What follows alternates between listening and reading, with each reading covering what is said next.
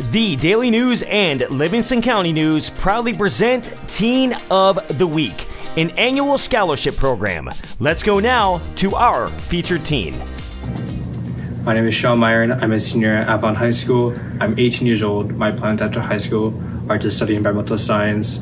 And a fun fact about me is that I've been participating in our local Scrooge production for over 10 years. I've gone through roles from Tiny Tim to his brother Peter, his father Bob, and to Scrooge himself.